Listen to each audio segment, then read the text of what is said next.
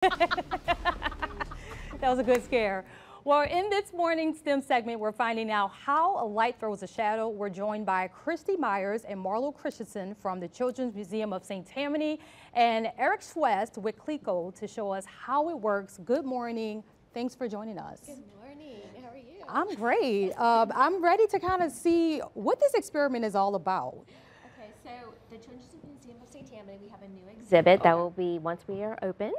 Um, it's light and shadows. So basically, everyone's familiar with the primary colors of red, blue, yellow, mm -hmm. but red, green, and blue actually gives us more colors, just like you see digitally TV right. generally. So when the children come in and the lights are on, they can basically see their shadows and it, the separation of color oh, yeah, with the shadows.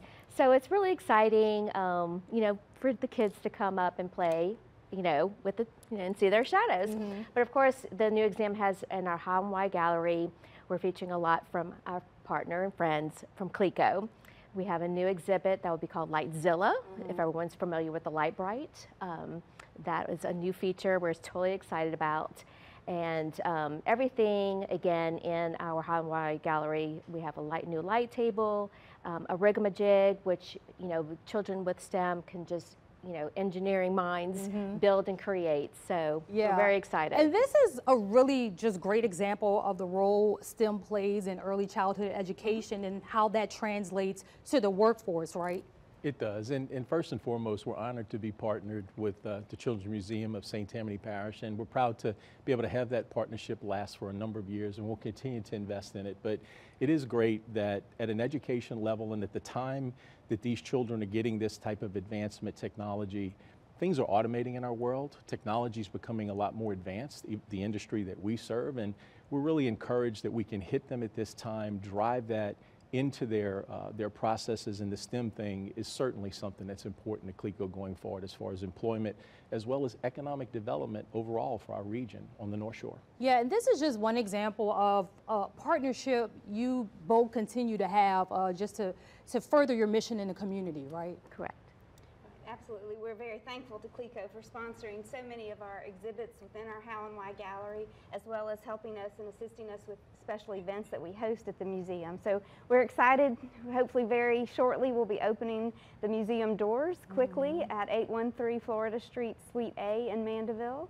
Uh, we plan to be open within the next two weeks, and we will be hope, you know, hosting special events which really our first big event will be in November, mm -hmm. which will be our STEMQuest Innovation Days, which CLECO will be a part of with their hotspot presentation that will be showing us how to make sure that we're safe around electric. Well, that's coming up real quick. Absolutely. Two weeks. yes. uh, how can people find out more information, uh, stay up to date with the museum opening, and just stay up to date with everything you guys have going on?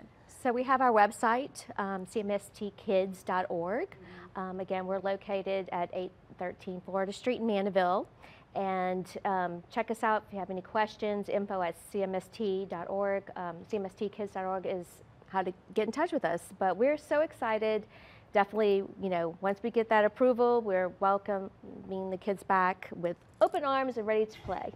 well, guys, thank you so much for joining us telling us all about the new, new, museum opening and showing us this fun exhibit. Yes, thank you. Thank all right. you. Thank you. Well, coming up after the break, details on an event where you can show off your talent for a check and a good cause.